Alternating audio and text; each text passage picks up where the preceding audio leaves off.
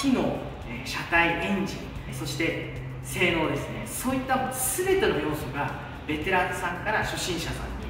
まで受け入れられる。そんなオートバイですのですごくおすすめします。もう大絶賛です。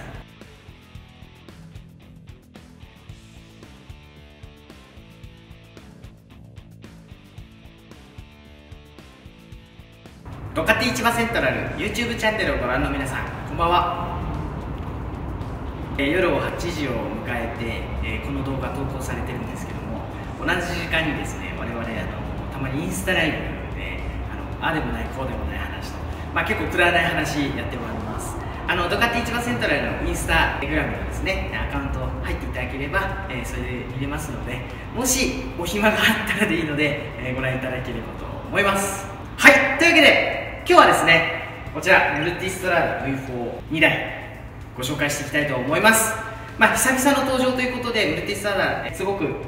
いろいろな発展がありますし、えいろいろな改良がされております。特にですね一番大きいところシートコーだと思いますので、えその辺深掘りしながらですね、えご覧いただければと思います。この動画最後まで見ていただければですね足つきに自信がないよっていうお客様だったりあとはムルティストラダーって私でも乗れるの？とか、えー、そういった、え、心配をですね全部解消できるかと思いますのでムルティストラダー V4 気になっている方はぜひ最後までご覧ください。それでは早速行きましょ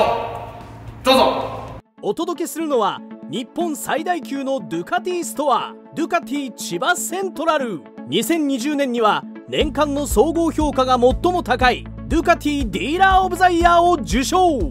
そんなドゥカティ千葉セントラルのストアマネージャーを務める長谷川隆に話を聞いていきましょう。はい。というわけでご紹介するのがですねムルティストラーダ V4S キャストホイールバージョンですね。こちらの2021年モデルとこちら、えー、ムルティストラーダ V4S スポーツフルパッケージスポークホイールバージョン。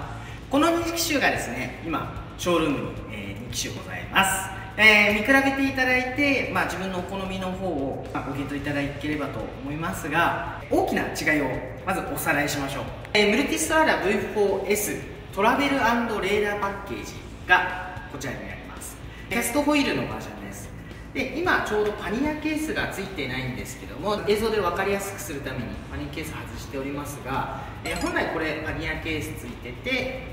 こちらですねセンタースタンドもついててはい。グリップヒーターですね。こちらもついてますし。はい。こちらレーダーシステム。はい入っております。これがトラベルレーダーの、えー、まあ、基本的な構成要素ですね。さらにムルティストラーダ V4S スポーツスポークホイールバージョンです。でこれにはフルパッケージが標準搭載されています。フルパッケージの内容というのは先ほどのムルティストラーダ V4S トラベルレーダーパッケージにアクラボビッチのサイレンサーがついてます。これ、えー、車検対応サイレンサーなので安心して行動でお使いいただけますし安心して車検通すことができます。さらにこちら。これがカーボンフロントフェンダーですね。このカーボンフロントフェンダーとアクラボビッチの車検対応サイレンサーが、えーパッケージとなっているのがパフォーマンスパッケージ。このパフォーマンスパッケージがついててかつトラベルレーダーパッケージもついているのがフルパッケージ。全部のせってことですね。今ご紹介したようにスポークホイールバージョンとキャストホイールバージョン。2タイプあります。当然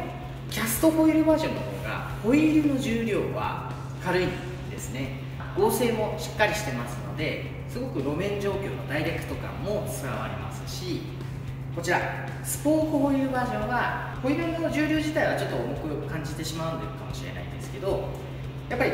乗り心地が滑らかになりますし、え、それぞれのスポークが貼ってあることによってですね、衝撃を和らげてくれたりですねします。なので例えばオフロードとかですねそういった世界観に憧れている方とかも含めてキャストホイールのがかっこいいじゃんとか、え乗り心地いいじゃんっていう方はこちらをおすすめしますしもうちょっとこうムルティストラーダでもオンロードでスポーツ走行したいって方はこちらをおすすめします。というわけでいろんな選べるパッケージ要素、えー、バージョンがあるのがムルティストラーダ V4 なので自分の好みに合わせてですね、えー、そういったところご検討いただければと思います。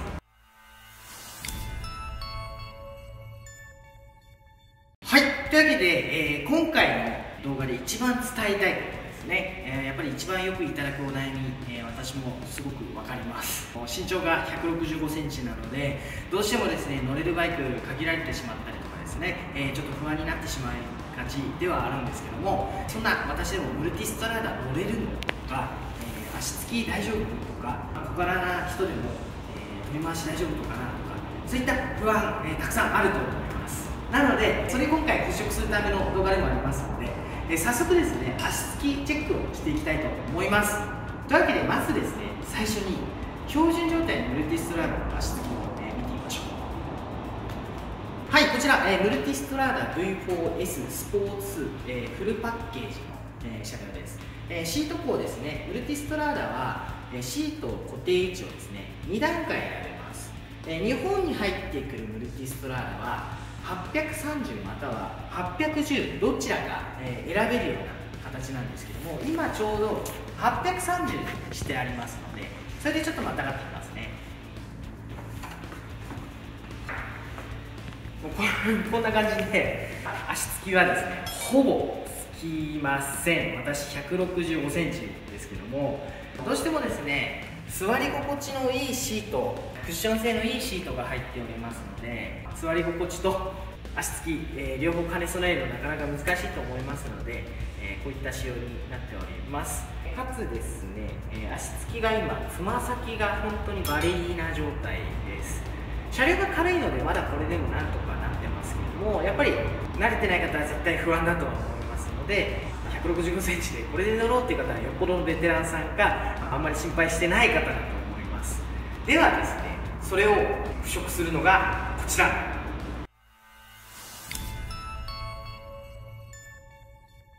見た目はあんまり変わってないですよね。でも引きでぐーっと引くとあのなんとなく僕の体との対比でバイクが下がってるように感じますよね。実はこちらリアサスペンションとフロントサスペンション両方のですねサスペンションをですねローダウン機仕様にしてあります。こちらドカティパフォーマンスから標準で出ているもので2021年モデルでは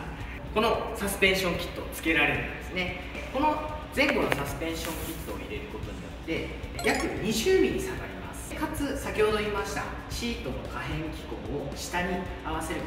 とによってまず標準状態で810になります。さらに2センチ下げることによって理屈の上では790にシートも下げられるんですね。なので実際にこちらをまたがってみたいと思います。いかがでしょうか？まあ、ちょっと動画だと分かりづらいかもしれないですけど私個人的にはですねかなり、えー、安心感あります。車両重量が軽いっていうのもあるんですけど全体的に前後のサスペンションが下がったことによってもちろん後ろだけ下げるとアンバランスになってしまう。が前もしっかり下がってくれてるので本当に上体の違和感もないのですごくいいです。調子はいいですね、えー、感じの足つきもですね両足もちろんカットまではつかないですけどえー、しっかり作ることができておりますので感覚的には大きく変わったなっていうのが印象です。さらにですね、えー、今回、ムルティストラダ V4、コンピューターの大幅なアップデートが行われました。えこれによってですねあのメーターの中の表示だったり操作方法も大きく変わったんですけども一つ大きな、まあ、改良がされまして起動中に操作をするとですねプリロードが、え抜かれて、え車高が下がるシステムが、え付けられました。これによってですね、え停車時とかもしくは乗車時ですねつまり乗り降りする時とかあと止まってる時とかはですねもう本当に安心した足つきになるようにですね車高がぐーっと下がるような、えそういった機能が搭載されましたのでなおのことですね小柄な方だったり、えー、大きなバイクに乗るのが不安な方にとってはすごくいいポイントだと思います、えー、ぜひですね、えー、こういった機能をフル活用してそしてこういったパーツをフル活用してですね、えアドベンチャーバイク挑戦してみてはいかがでしょうか。本当にムルティストラーダ V4 はですねそういったあの初心者の方でも楽しめるアドベンチャーの要素がたくさん詰まってます。もちろんですねベテランさんだったらもっと大柄でもうちょっとオフロード志向のアドベンチャーバイクもおすすめはできるんですけどこのムルティスターダは機能、え車体エンジンそして性能ですねそういった全ての要素がベテランさんから初心者さんにえまで受け入れられるそんなオートバイですのですごくおすすめします。もう大絶賛です。なので、えー、今年はですねブルティスアラ動向をチェックしてください、えー、おそらくインスタグラムとか YouTube でですね、えー、こういったツーリングの模様とかをですね、えどんどんアップしてですね、え皆さん一緒にツーリング行ければと思いますのでぜひそういうところもご覧ください。はいというわけで今回ご紹介しましたムルティストラーダ V4S と S スポーツフルパッケージですね。S の方には、えー、ローダウンキットが組まれておりましてシート高が低い状態に、えー、なって展示しております。え実際にですねまたがってみたいという方はぜひショールームの方で実際にまたがっていただいてですね足つきとかチェックしていただいた上で、まあ、自分でも乗れるのかなとかそういった心配事もですねえ全部お答えさせていただきますのでぜひぜひショールームの方に足を運びください。それでは出張中の片岡さんに向かってさよならしていきましょう。さよなら。出張頑張ってください。